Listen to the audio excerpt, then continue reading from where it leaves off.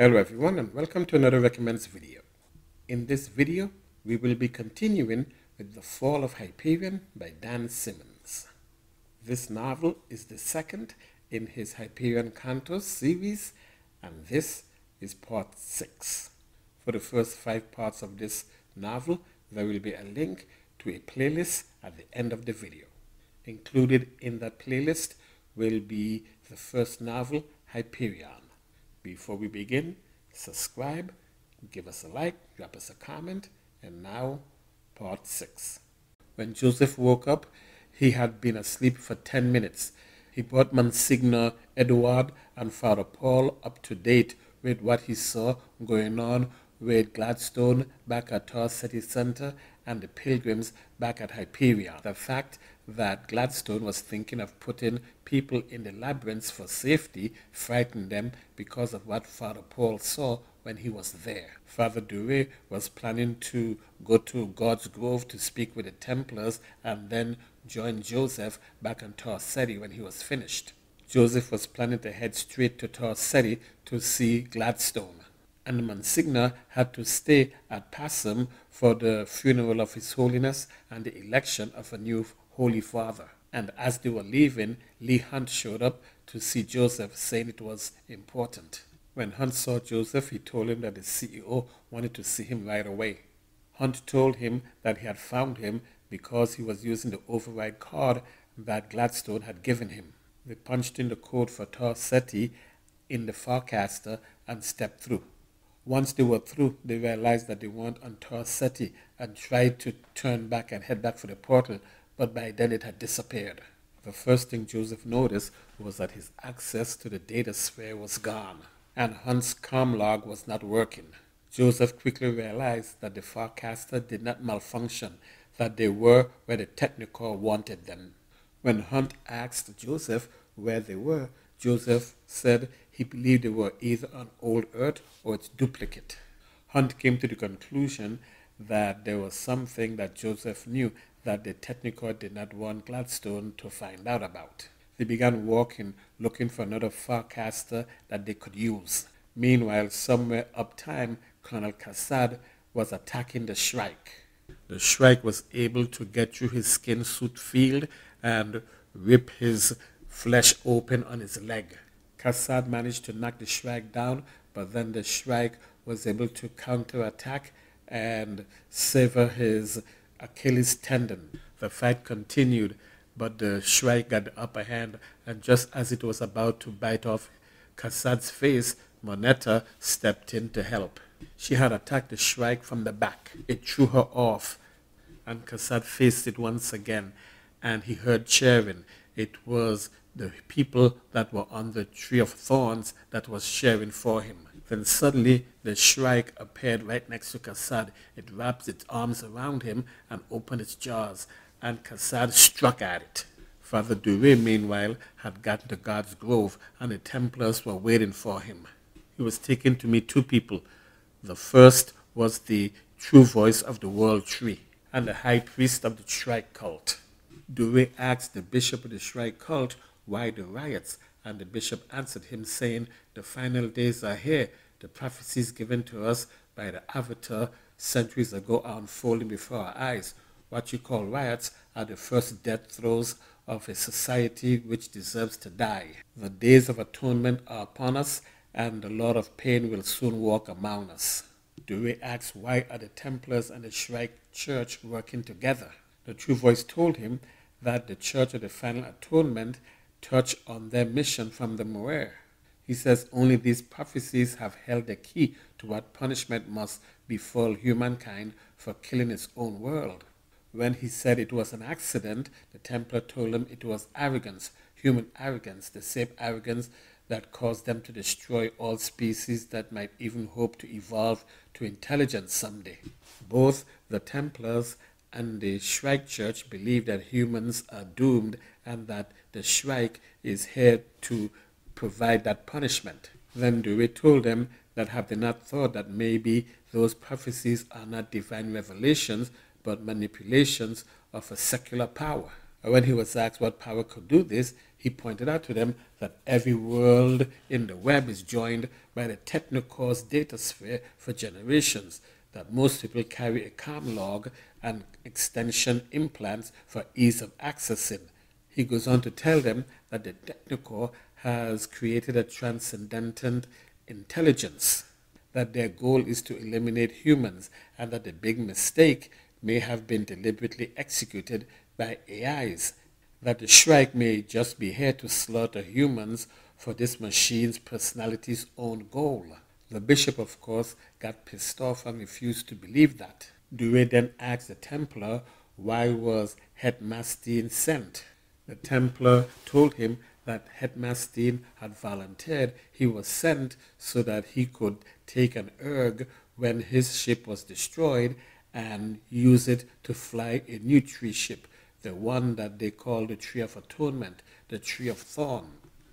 After they had answered his question, they asked him one. They wanted to know what happened to the mother, the mother of their salvation, the one they call Brawne Lamia. Once he had told them all he knew about Brawne, the bishop left. Then Sek Hardin, who was the voice of the world tree, told him that if he was a Templar, he would be put to death for his heresy about the machine misleading them for generations. When Dure turned to leave, Hardin wouldn't let him. He told him that in 18 minutes, the world of Heaven's Gate will fall to the ousters, and our prophecies say it will be destroyed.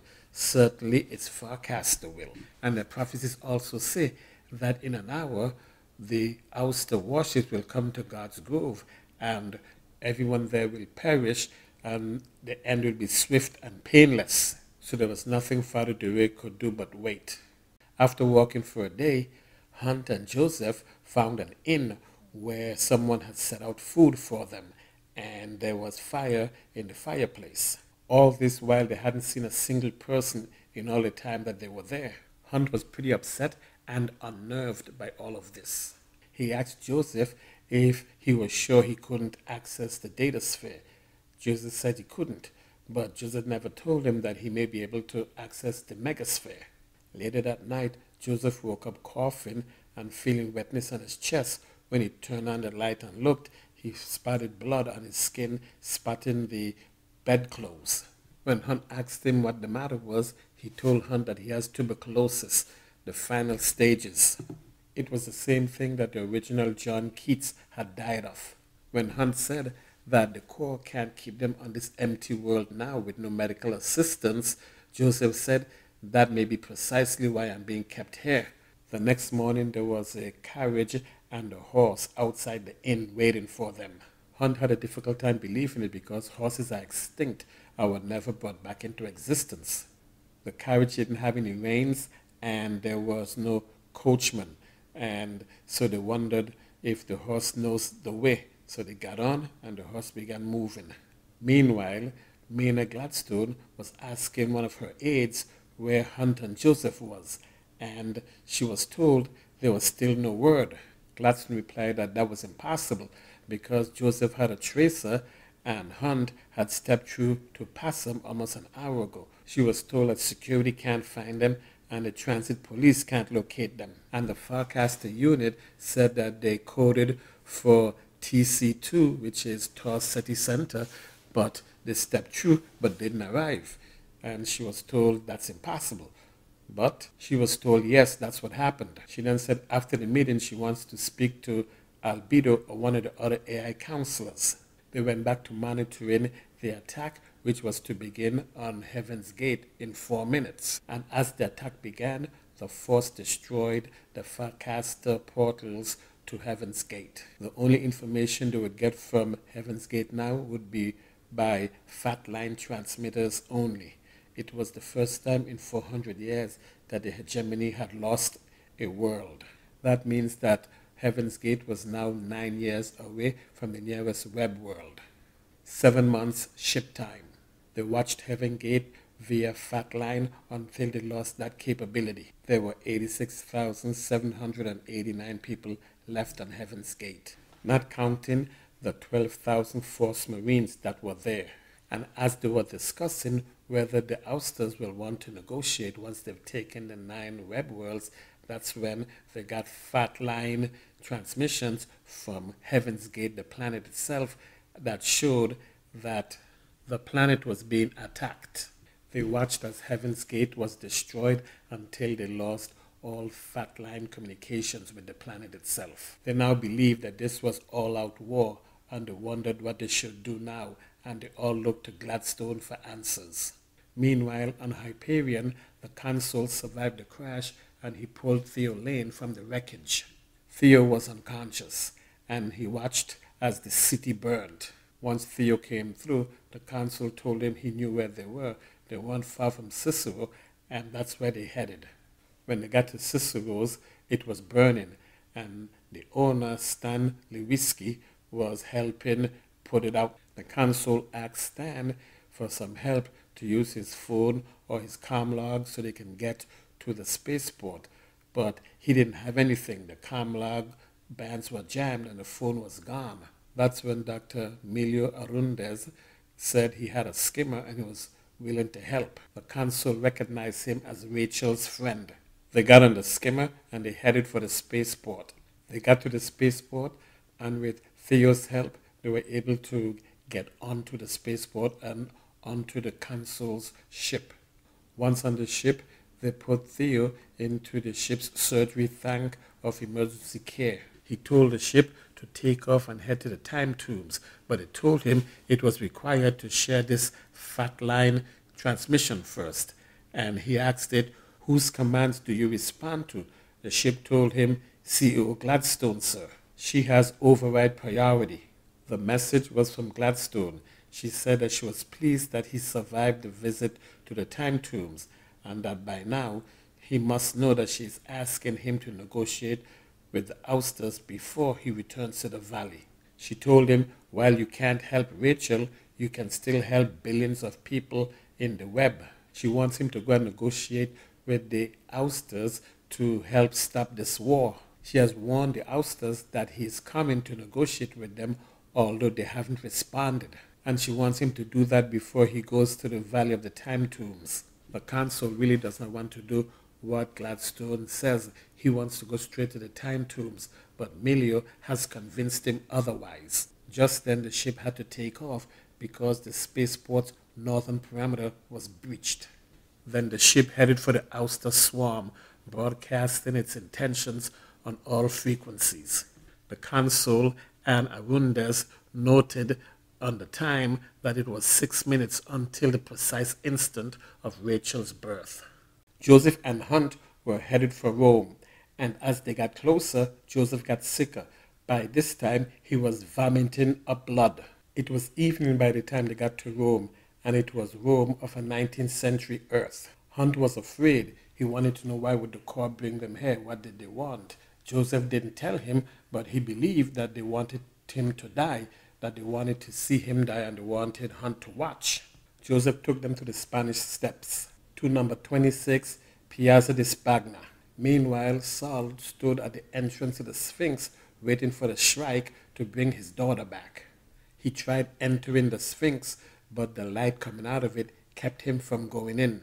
When he turned and looked at the other tombs, each of them were glowing. He saw someone moving at the entrance of the jade tomb, so he headed over there. At first he thought it was Rachel, but when he got closer, he saw that it was Brawne. He caught her just as she fell, and although he was disappointed that it wasn't Rachel, he told her it's all right, she's back. Meina Gladstone was on Mons Olympus, Mars. That's where the war room was. Her aide Sedeptra told her that there was still no word from Leigh Hunt or Joseph Severn, and that the Core said it may have been a Farcaster malfunction, which of course Gladstone did not believe. She said, Can you remember any Farcaster malfunction in our lifetime? Sedeptra responded, No. Gladstone goes on to say the Core feels no need for subtlety. Evidently, they think that they can kidnap whomever they want and not be held accountable. They think we need them too much and that they're right. She said that her meeting with Councillor Albedo will be right after her meeting in the war room, but Sedeptra thinks that it was too risky to confront them like that because they may disappear her the way they did with Leigh and Severn. But she says she doesn't think they will because they think things have gone too far that an individual can do nothing to change the course of events, and they may be right. On God's Grove, the true voice of the World Tree, Sek Hardin, and Father Paul Dure was waiting. As they waited for the ouster ships to come, Sek Hardin said that they have asked Gladstone and the hegemony to offer no resistance and to allow no force warships in the system. In the discussions, Hardin said that humans are like a cancer on the universe, that they have eradicated countless life forms and competing forms of intelligent life. He goes on to say that this insanity came from a symbiosis between humans and the technocore. And while Dure asked if they are willing to see billions of people die to accomplish this weeding out, Hardin was confident that that would not occur, that the ouster was seeking only to control Hyperion and the Shrike long enough to strike at the Technocore. He was also confident that God's Grove would not be attacked. That's why he's keeping Dure there, so he could report that fact to the hegemony. Dure asked him, How do you know all this? And just as the Templar was about to respond, that's when the bombs began dropping on God's Grove. And as the forest was going up in flames, Hardin was shocked. He said they promised, the ouster brethren promised. Hardin then brought the Farcaster portal into existence and dragged Dure towards it and pushed Dure through the portal just as the fire reached it. It shut down just as Dure tumbled through, slicing off the heel of his shoe. Dure felt his eardrums rupture and his clothes began to smolder, and he fell, hitting his head, knocking himself unconscious. Gladstone and her war cabinet watched as God's Grove was destroyed. They quickly destroyed the singularity connecting them to God's Grove. Mare Infinitus was the next planet that was going to be attacked in 3 hours and 52 minutes. They were going to send Admiral Lee with a task force of 74 ships to hit the ouster swarm in the Oort cloud away from Mare Infinitus. Just then, someone came and informed Gladstone that Father Paul Dure had just come to a Farcaster, but he was severely injured and that he was taken to the infirmary. She adjourned the meeting for 30 minutes and she sent her aide to put two guards to protect the priest. Another aide told her that the Senate has the votes for a no confidence of this administration. They just don't know it yet. And she has about 72 hours on the outside. She then met with Councillor Albedo, asking him to tell her where the Technocore was located. He refused to tell her and he defended the Core's predictions, although the Core never predicted all of these worlds being destroyed. She then decided that she wanted to speak to someone of higher authority of the technocore and not him. She then called up a Farcaster so that she could go and visit Paul Dure at the infirmary, but just before she stepped through, she realized that the technocore controlled the Farcaster and therefore controlled every human being in the web and that they could kill her quite easily. But then she stepped through anyway. Joseph and Hunt took two rooms on the second floor, and Joseph's room was the smaller of the two. Joseph was very sick at this time. He had a fever and he was coughing up blood. Joseph finally fell asleep and dreamed that he was in a megasphere, a portion of it where he's never been before. Finally, Hunt woke him because he heard him crying out in his sleep. Then Hunt asked him about this place and said, obviously, this is something to do with him. And he told him to tell him about it.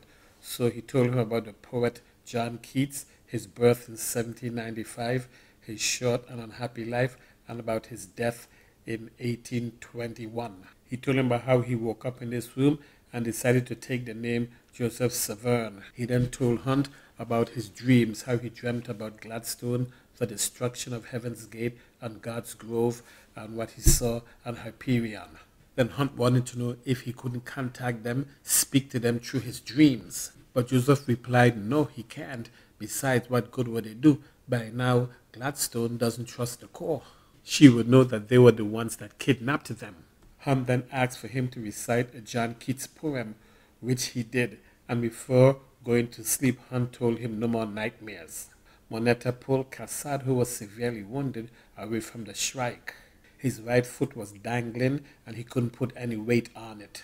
She brought up a golden oval and pulled him through it. He knew she had taken him somewhere through time and space. The skies were so filled with stars and galaxies that there was no dark spots in the sky. It was as bright as daylight.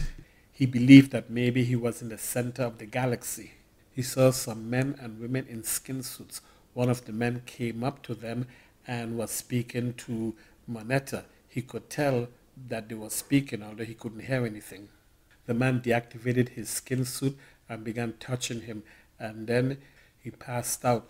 And when he came through, Moneta was whispering to him, and his skin suit was back, and he was healed. He thanked the man and then looked at the people that was around him. They were all human, but there was a great variety among them. The man who healed him was huge, but next to him was a small, tiny woman with wings. There were women who had webbed fingers and men who were armor plated. And above them, flying, were some winged males who had lasers coming out of an eye in their chests. Moneta then told him it was time for them to go, that these people had enough to worry about. When he asked where they were, she said, Far in the future of humanity, one of our futures, this is where the time tombs were formed and launched backward in time. Moneta then took him back through the golden oval back to the crystal monolith in the valley of the tombs. He looked and he saw Saul bending over Brawne Lamia. Moneta warned him, if he fight again, the Shrike will kill him, because she saw the Shrike heading towards Saul and Brawne. He told her that they are his friends, and he grabbed his weapons and charged down to meet it. Joseph woke up. Hunt was still asleep. He pulled a chair over to the window and sat and thought of the last time he was here. He also thought of what he dreamed. Martin Silenus on the tree, Kassad preparing to fight the Shrike, the cries of the consul as he is forced into betrayal a second time. He thought of the Templars and the world dying, of Brawne Lamia, of Paul Dure, of Saul, who was crying for his daughter. He then went and lay down to sleep. Theo Lane woke up hearing music. He realized he was on the ship and he went looking for the consul, who he found playing a piano. The ship was open, there was gravity, and there was sunlight. Milio was nearby listening, and below the ship's balcony on a green lawn was clusters of people. And these people were like none he had ever seen in the web. They were of different types. They were obviously designed for different worlds and different environments. Milio saw him and whispered, Ousters. Once the consul has finished playing, the people all applauded and got up and left in their various ways. The consul greeted him, saying he was just in time, that they'll be negotiating soon. That's when three ousters landed on the balcony and folded their wings. They had fur and were differently marked and striped.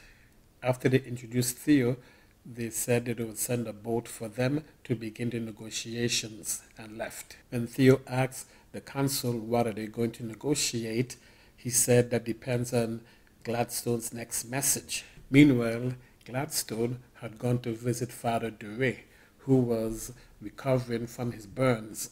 He told her that the true voice did not believe that the ousters would attack, but they did. He then told her about his passage through the labyrinth and how he met with Joseph and Hunt and Pacem and how they left to come back to visit her. She informed him that they were missing and she wanted him to stay with her. And she received a message from Pacem saying that the Catholic Church had elected a new pope and he was the new pope. She then put a call through from the Monsignor, then stepped out to send a message to the consul's ship. She asked him to find out why the ousters are attacking and destroying worlds of the web. Then she wanted to know where the Technocore was located because they may have to fight them. She also wanted to know what was their demands for a ceasefire and if the leader of the swarm would be willing to meet her in person. Then she says that the swarm leader must know that the Core wants them to use the death wand and that they will not allow the Ouster invasion to overrun the web. She then sent a message saying, It is up to you now. Once the consul got the message, he sent back an acknowledgement. He then brought Theo up to date on his betrayal and how he got to be here. Then Milio, Theo, and the consul watched as the boat that was sent for them approached. We will stop here and continue this in a future video. I want to thank you for watching and listening. Subscribe if you haven't. Give us a like, drop us a comment, and I will see you in the next video.